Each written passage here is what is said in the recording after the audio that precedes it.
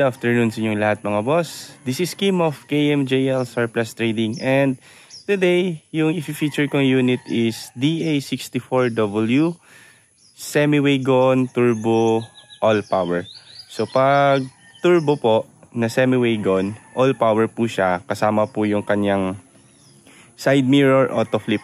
So mamaya po yung kabuwang video, ipapakita ko sa inyo and kabuwang details.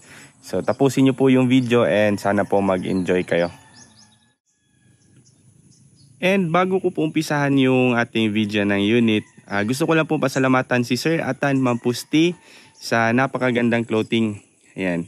So since nagko-collect po ako ng mga Corolla, since high school pa po ako, and sa mga uh, Corolla enthusiast dyan, uh, pwede nyo pong i-PM si Sir Atan Mampusti. Uh, sa mga naghahanap po ng mga Corolla parts like mga condenser, evaporator, mga power window motor, lahat-lahat po ng Corolla parts kumpleto po si Sir Atan Mampusti. And suportahan din po natin yung kanyang vlog na Atan's Vlog.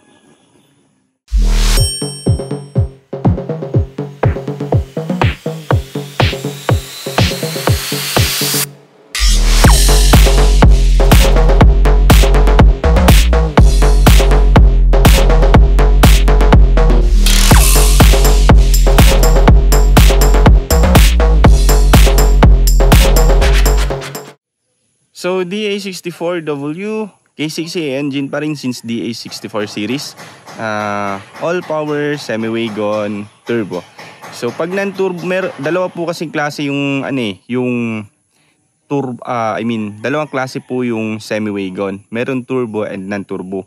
Yung pinagkaiba ni non-turbo is harap lang yung power window niya and yung kanyang side mirror is uh, hindi po siya auto flip So, si turbo naman, uh, power window hanggang likod. And yung kanyang side mirror na electronic is auto flip. And yung mga door sidings niya is kaparehas ng tela ng wagon. So mamaya po papakita ko yung interior niya. Right, so this one is made to order from our buyer na taga Davao City. Uh, shout out sa iyo, Ma'am D. Garcia. So this one is requested niya ang kanyang color na gusto. Uh, battleship gray. Ayan. So basic finish po yung napag-usapan namin. So madalas naman kasi kapag ka nagpapagawa sa amin ng basic finish, after ilang weeks nakakapag-decide sila na magpa-add ng mga konting accessories. So this one from basic finish which is unit conversion, pintura, registration, brand new battery, change oil, change ATF and PMS nagpa-add sila ng wrap around tint. So this one, uh, ito po yung pinaka the best po na tint na ini-install natin which is uh, magic tint yung harap and dito naman sa driver side is light and dito is super black. So this one kasi is vision niya dito sa side mirror and this one naman sa likod uh, light pa rin. Yung vision naman niya is sa center mirror. Yan. And interior niya naman, ito po yung sinasabi kong door siding. Kasi yung door siding po nito mga boss, kaparehas po talaga sila ni Wagon. So ganito po yung mga tela ng door siding ng Wagon. So same sila kapag ka turbo and all power. So kapag ka halimbawa naman uh, non-turbo, so dito lang yung power window niya, sa likod walang power window. And wala po tong ganito. So, auto flip. And yung kanyang switch is hanggang dito lang. Ay, ganyan. So, ayan, kasi wala siyang ano eh, wala siyang power window sa likod. Sa dalawang switch lang. And yung kanyang dito naman is plastic lang. Hindi siya tela. So, medyo may uh, konting kasosyalan talaga yung si Turbo. Kaya, madalas yun yung pinipili ng mga buyer na gustong mag-made to order ng semi-wagon na turbo. So, aside from that, uh, pinagkaiba din ni turbo is yung kanyang panel gauge. Yan. So, kung makikita nyo, same talaga sila ng panel gauge ni DA64W. And, yung kanyang upuan, ayan, matic na yan, captain seat. So, same talaga sila ni Wagon. Pinagkaiba lang ni DA64V na semi-wagon, turbo, and DA64W is yung kanyang body. Kasi yung body ni 64B kasi is yung taillights niya andyan sa bumper. And yung DA64W naman, yung taillight niya is dito. And madalas sa DA64V mga I mean DA64W mga boss is low roof. So meron si high, si Wagon din po is meron siyang spoiler, may mga side skirt, wrap around body kits kumpleto. So mas ano pa rin, mas madaming advantage si DA64W especially sa kanyang panlabas na anyo. Sa interior, nagpa-add si buyer ng all black na upholstery seat. So request niya yung colors and design ng upholstery. So dalawa lang yung pina-add ni ma'am since uh, yun lang din yung kaya niya as of now sa tint and upholstery. So sa headlight naman, uh, yun yung unang-una talaga nating mapapansin kung ikukumpara natin. Si 64V na semi-wagon and 64W kasi si 64W is uh, mas social yung kanyang headlight. No? Right? And Ayun, ito yung pinaka example talaga ng basic finish. Kung uh, tatanggalin si tint. So this one, uh, presyo, nagkakahalaga po siya ng 200,000 pesos. Lahat-lahat na po. Ganitong setup lang. So magdidepende pa rin po yung total price nito. Depende po sa accessories na ipapa-add ninyo. So the more madaming accessories, the more din tataas yung presyo kasi nga i-add lang natin yung presyo ng accessories sa total price ninyo. So from basic finish, matic na po yan. Kasama na din po tong kanyang uh, rain visor. So any color na i-request ninyo, gagawin natin. Kung gusto nyo white, gusto nyo black, o any color pwede. So ito po yung antena niya sa ating radyo. So kung napapansin nyo mga boss, dito pa rin tayo sa Katigan. So plano namin pumuntang Barakatan and dito dadaan sa Katigan.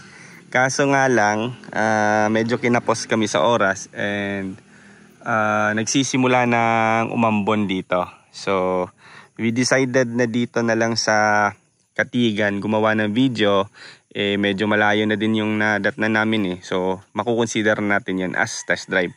So so far naman sa ating test drive wala naman naging problema.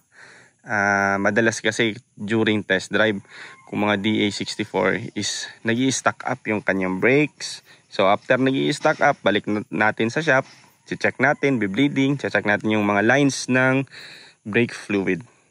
Ayan. So ito po yung likod na part niya. So malaki pa rin po yung space sa likod lalo't wala po siyang pina-add na back seat. So papakita ko sa inyo ngayon paano natitiklop yung ating captain seat sa likod.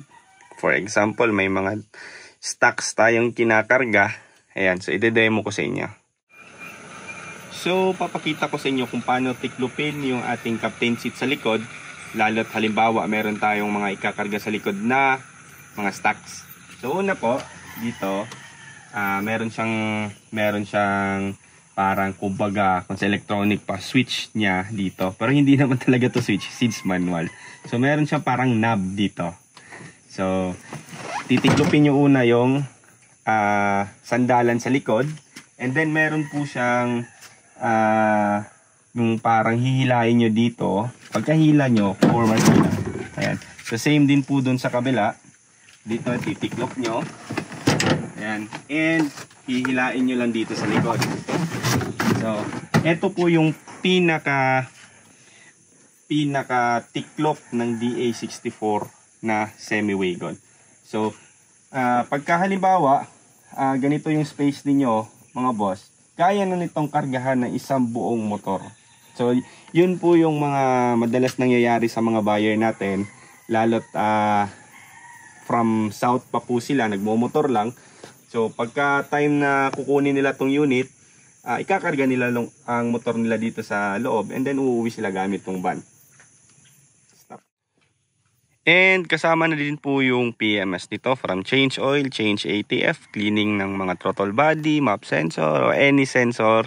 And especially po yung pangilalim natin, mga ball joints, stabilizer link, kasama na po if needed na palitan.